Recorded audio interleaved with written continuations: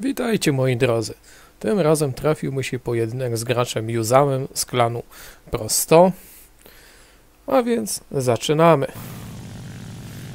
Gracze ci nie tylko są obmierzłymi kamperami, ale też lubują się w czołówkach. Jednakże oni te czołówki wykonują inteligentnie, strzelają mniej więcej z 1,5 km i używają amunicji niewidzialnej. Dlatego w żadnym wypa wypadku nie lećcie prosto na nich, jeżeli na nich traficie. Tutaj widzicie, przygotowuję się do czołówki i szybkim snaprolem schodzę Yuzamowi z liny ataku.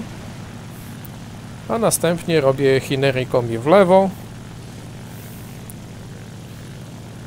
żeby podążać za nim. Tu słyszę, że on tam nawraca.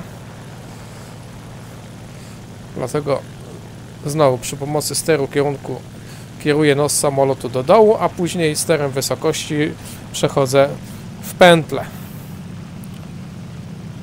To spowodowało minięcie. Na szczycie pętli skręciłem przepustnicę i zacząłem robić hinerikomi, żeby nawrócić do kolejnej pętli, ale tu widzę, że Juzam zdołał się nakierować na mnie. Dlatego kolejny snap roll, który prowadzi do split S-a i kontynuuje podążanie za nim. Swoją drogą to pokazuje klasę przeciwnika, że przeciwko Sokolikowi lecąc BFM F4 zdołał na tyle ciasno zawrócić, żeby wymusić czołówkę. No, tyle tylko, że ta sztuka niestety mu, mu się nie udała, a w, podczas kolejnych nawrotów już był bezbronny. No to było starcie bardzo krótkie, ale mam nadzieję, że się podobało. Trzymajcie się do następnego. Cześć.